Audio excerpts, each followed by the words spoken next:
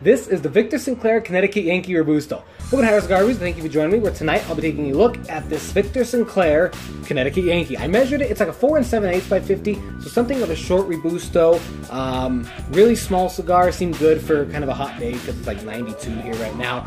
As far as the wrapper goes, it's a Connecticut grown Havana seed wrapper, and it looks good. There's a couple prominent veins here and there, but really nothing terrible at all. Got a real, real fine tooth to it. As far as the cap goes, it kind of looks to me like a single cap. So kind of like, what is that, the Padron 64 series. Double cap is definitely the standard. Triple cap is something of a rarity. But single caps, you almost never see just a single cap. So that's kind of weird. Kind of makes cutting a little bit of a challenge as opposed to the double cap. But aesthetically pleasing, the cigar is aesthetically pleasing from an aesthetic standpoint.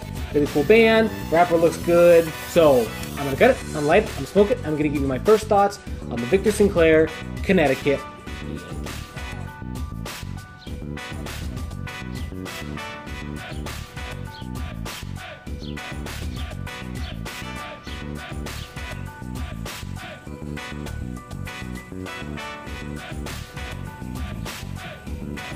Getting started on this. Uh oh, I lost my ash. Getting started on this Connecticut Yankee, and I'm really surprised so far. The main flavor I'm getting is a really oily tobacco. Now, that's something I associate more with medium full bodied cigars and full bodied cigars. And this is a medium bodied cigar. So it was definitely a flavor I wasn't expecting it's sort of ignorant of me, when I have a medium or a mild medium, I expect a lot of, you know, a lot of hay, a lot of grass, a lot of right, light roast coffee. And there is some light roast coffee in here. There's just a touch of leather, some floral notes, but I definitely wasn't expecting to get an oily tobacco out of this. It's uh, very welcome. I'm not complaining at all. I really enjoy it. Construction is good. You can see the ash just fell off. The draw is great. The smoke output is pretty good. So, yeah, overall, no complaints. I'll be back in just a little while. We'll keep it moving.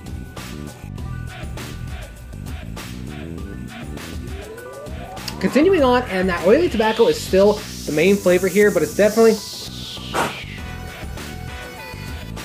it's definitely not as strong as it once was. It's uh, sort of dissipated just a little bit, and it's allowed for a fairly standard milk chocolate to come in. That light roast coffee is still there, but uh, yeah, basically oily tobacco, uh, milk chocolate, and the light roast coffee. It's a simple flavor combination but it's one that's working incredibly well. I'm really, really enjoying this cigar right now. Uh, construction is still fine, smoke output's good, draw is perfect. So really nothing much to update there.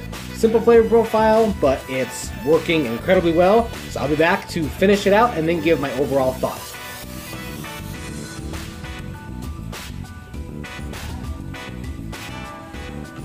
Finishing out this Connecticut Yankee, things are pretty much the same. That oily tobacco, well, I shouldn't say things are pretty much the same because the oily tobacco is gone. Replacing it is just kind of just a normal, kind of generic tobacco. A little bit of that chocolate left, a little bit of coffee, um, a little bit of that leather just here and there. But the oiliness of the tobacco has definitely pretty much completely died out. It's more of like a normal medium bodied cigar now. So that's okay. I would rather die out here than somewhere in the first third. Uh, but I was really enjoying that oily tobacco flavor.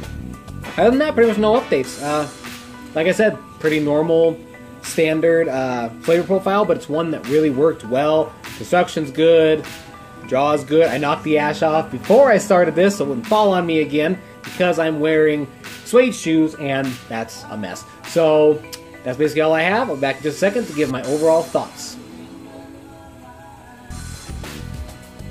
You have it, the Victor Sinclair Connecticut Yankee Robusto. Overall, like I said, really good cigar. Uh, standard flavor profile, but that oily tobacco is definitely a, a surprise. Like I said, I associate that more with like medium to full bodied cigars or full bodied cigars that have like a big, thick, oily wrapper on them. Definitely not something I, I don't think I've ever really gotten that out of medium bodied cigar, save for maybe like the Gurkha War Pig, which is another really good cigar. Um, Victor Sinclair kind of gets a bad rep in the cigar world. They're not seen as a fantastic company, but I've had my fair share of Victor Sinclairs, and I enjoy a lot of them. Uh, there are some, like the the one with the band, it just says Victor Sinclair. I think it's got like a bird on it or something. That one I'm really not terribly crazy about. But the Series 55 line, the Don Rafael line, which they make, this Connecticut Yankee, the Vintage Select, which I should have a review up on somewhat soon. I enjoy Victor Sinclair.